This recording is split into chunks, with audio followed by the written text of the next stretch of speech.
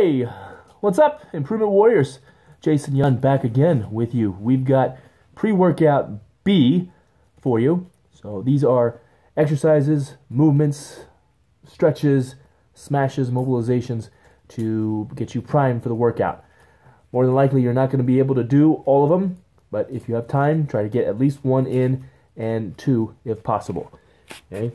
But every time you do it, your workout, you can come back and do another one. Just always depends. So this is, uh, I'm going to give you four of them today. Now we're going to work the first one, the mobilization or the stretch. We've got two stretches. Mobilization more for the wrists. So we're going to work on our flexors that way and extensors that way. So what you do, this will help with carpal tunnel, all that stuff, opening up if you have pain when doing push-ups. Okay, this will help as well. So what you're to do, You've got the flexor stretch, so you want to turn your hands as far back to you as you can. So you want your fingers pointing towards you, and then you're going to come forward as far as you can. You shouldn't feel any stretch here. If you do, then you got really poor flexibility, and then you just slide back as far as you can. Now you should feel the stretch and come back. And just keep doing that. Go back as far as you can, trying to go a little further. You don't want the palms coming up at all like that. Okay, keep the palms flat. Okay, you can do 10 to 20 or 30 reps if you want. Okay, and then you're to flip it around. Okay, now you're down here. You can either hold or you can do both at the same time. All right, but just coming forward and then coming back as far as you can. Okay, be very careful with this position because this is not a strong position. Okay, so we can't go too far without doing too much damage. But we can make changes ever so slightly, small and consistent changes. So back and forth, 10, 20, 30 reps going there. Okay? Then the next thing we have is our smash. So the smash, we're going to be doing a quad smash, okay, with the foam roller.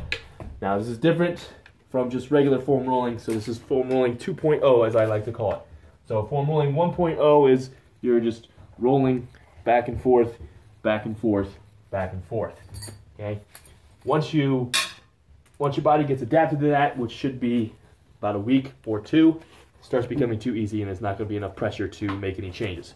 So foam rolling 2.0 on the quad, start just above the kneecap, and then you're just going to roll to the side roll to the other side and just back and forth. Now, if you find an area more tight, that's a trigger point. We need to get rid of that trigger point and just stay there, shimmy back and forth on it. Make sure you're breathing as deeply as you can because if you hold your breath, your muscles will tense up and it's not going to work. Okay? And just back and forth, back and forth. Once you clear that area, slide an inch or two down, do the same thing. Back and forth. Okay? Slide down, back and forth. Now the whole quad could take you 10 minutes per quad. Okay? But we're just trying to get it out. So if you need to, you can come back, finish the rest of the quad when you have time. But just get as much of those trigger points out as you can. Because if we let those trigger points manifest, it's going to slowly and slowly cut down our mobility. Okay? And that's how we get old. You just don't get old overnight. Okay? Use your mobility or lose it. Recover from a workout or don't. It's up to you. Okay? My goal is to keep you healthy, working out for the rest of your life. All right, so that's two right there. Then the next one, you've got uh, another band stretch. So I showed you this in pre-workout A. This is pre-workout B. We're to go more towards the inner thigh. Okay, so again, take your band right under the ball of the foot, then take the strap, wrap it around again, so we got it nice and tight. Okay, then you are to come down. I should have done the other leg, but whatever.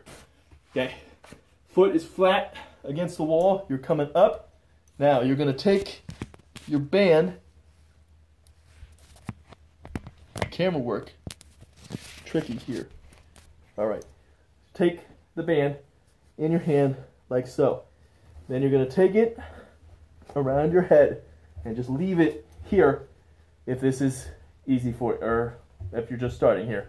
Okay? Then you're to take your leg all the way out to the side. The leg is bent. Okay? You shouldn't feel any tension. Now I'm going to extend my leg.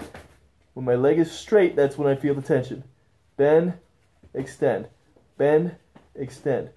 If this starts getting easy, you can extend this band hand. Okay, that'll apply more pressure on the band. You can also pull back on this, and that'll add more tension as well as you're pressing out. Okay, or my bad, push in, push down and in on the band when you're pressing that leg out. So you really feel this on the inner side groin area of your thigh. Same thing, 10, 20, or 30 reps on each side. Okay? As you're doing it, try and keep your foot dorsiflexed, so pulling up. Okay?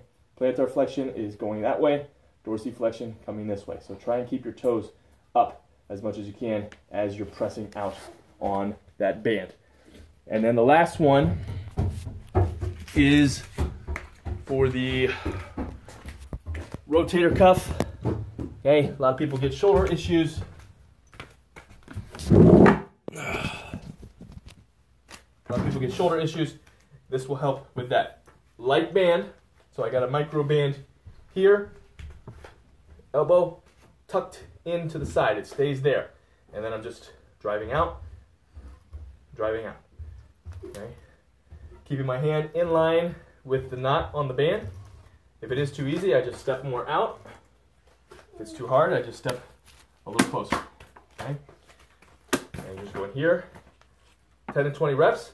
And then to do the other side, you would just turn around, but you would go this way. In. So I would get it here, bringing my hand all the way back, and then extending. Okay. So both sides, 10 to 20 reps. You can do multiple sets of those just going back and forth. And I know that's a lot of exercises, but just choose one or two if you have time for your pre-workout.